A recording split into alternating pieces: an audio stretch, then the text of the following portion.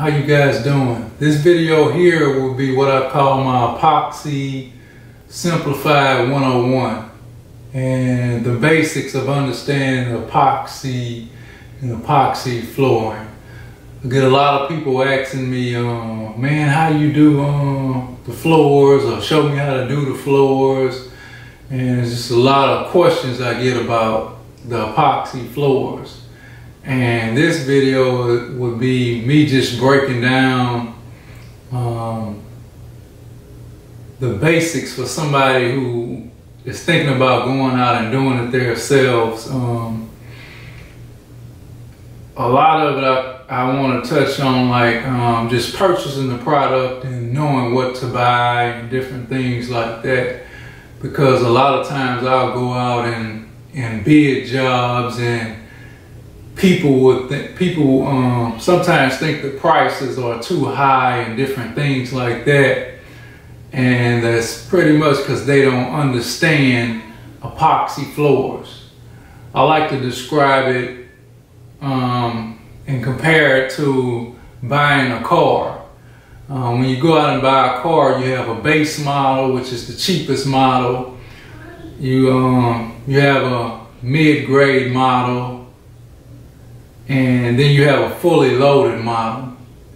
And it is it's epoxy floors are similar to that. You you have a um, cheap version which will be your box store version um, water-based product. Then you may have a commercial grade product.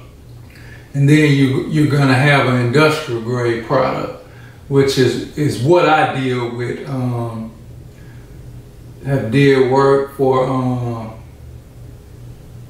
Eli Lilly's, Chrysler, GM, big name companies use the products that I use. So it's industrial grade, the top of the line, um, and that's what I use. So when people feel like my price is too high, um, it doesn't really bother me because I know what I'm providing. Like I said, a lot of people don't understand that about epoxy floors. They want the, the um, watered down, cheap price, but when it comes to durability and how long is it gonna last, they want that high end product and they don't understand that um, you got a um, cheap version which isn't any good you have a, maybe a medium grade, and then you have your top of the line, sort of like a car. So if you're gonna go out and do it yourself, um, I suggest you kind of do some homework and research on the product that you're that you're using. Um, deal with a lot of salesmen and a sale, um, kind of do your own research. A salesman's job is to sell you things, and uh, it's not too many that I know that are trustworthy. They're gonna tell you what you want to hear to sell you different products, and um, just do your homework on the product that you're gonna that you're gonna be using. Um, some stuff, uh, pot life, that's important um, some stuff will get harder quicker than other stuff, and that's what I mean by pot life. Uh, it took me a while to find um, a product I was comfortable with using. That's another thing if you're going to do it yourself.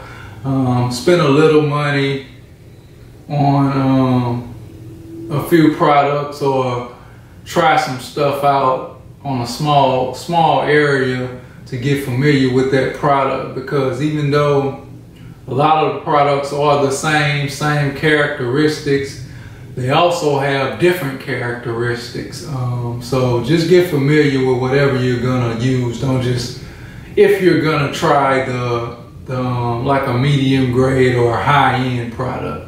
With the um, box store stuff, I mean, my son probably can put that down and use that.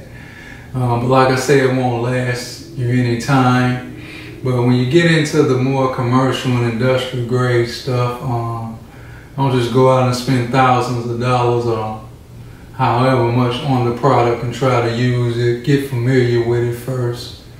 Like I said, it took me a while. I've been doing this a while and I, it took me a while to find a good product that I was comfortable with because most of your, the better, I say this, the better the product, the, um, the faster you have to be at putting it down. I've put down product where 10 minutes is dry. So once you get into the high end stuff, you really got to know what you're doing. So that's my take on um, on just the basics of understanding epoxy floors, and a lot of people have got into um, doing the countertops. It's the same thing. Fill it out, get a good product that you're comfortable working with, because um, even though they're all the same, a lot of them have different characteristics. So familiarize yourself with whatever product you're using, and um, I have other videos showing examples of floor, floors I've done. So you guys can check out those and I go more into depth in how to put them down. Uh, subscribe to my page. My page is CF Fun MJG. CF uh, one word. Fun MJG one word. So check out my videos, subscribe, like, give me some views. Thank you guys. And also uh, email me or you can uh, comment if you have any question. I'm always willing to help somebody else out, answer any questions you guys have. Thank you.